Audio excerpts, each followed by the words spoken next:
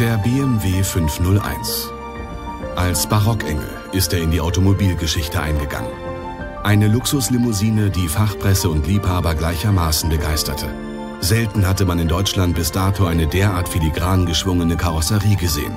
Luxus und Eleganz, übersetzt in eine einzigartige Formensprache.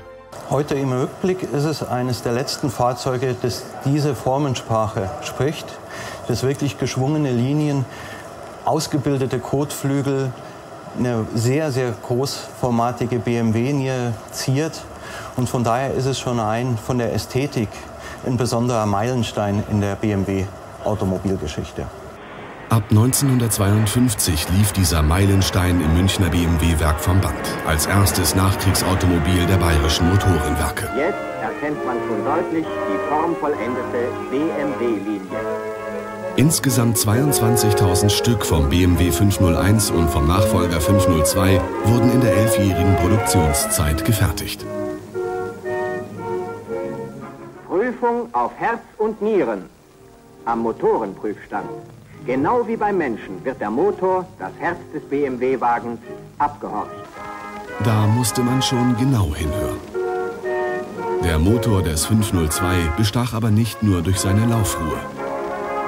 Es war ein kräftiger, durchzugstarker Motor bei gleichzeitiger Laufruhe, also Fahrkultur, Fahrspaß, Fahrfreude pur, die dieser BMW 502 den Kunden bot. Mit seinem Achtzylindermotor und 160 PS war er die schnellste Limousine Deutschlands. Immer wieder beweist der Wagen seine hervorragenden Eigenschaften. Man kann ihm viel zumuten. Er hat oft in den schwersten Wettbewerben gezeigt, dass er jeder Beanspruchung standhält. Dennoch, den Weg zum Kunden fand er nicht allzu häufig. Nur wenige konnten sich den Luxus eines Barockengel mit seinem Einstiegspreis von rund 15.000 D-Mark erlauben. Zum Vergleich, damals hatten Lehrer ein Gehalt von 200 bis 300 Mark pro Monat. Das heißt gut fünf bis sechs Jahresgehälter eines Gymnasiallehrers waren fällig, wenn man eben einen 501 kaufen wollte. Somit war die Klientel schon sehr begrenzt. Ein Oberklasse-Fahrzeug für die Oberklasse also. Gute Fahrt auf BMW. Aber vor allem ein wegweisendes Fahrzeug in der BMW-Unternehmensgeschichte. Rückwirkend betrachtet war es sehr wichtig, dass BMW mit einem solchen Fahrzeug, mit einem Premium-Fahrzeug, wieder in die Automobilproduktion einstieg und nicht beispielsweise mit einem Kleinwagen.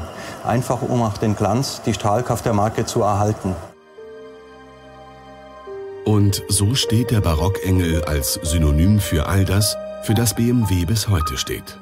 Für Eleganz, Dynamik und Fahrfreude.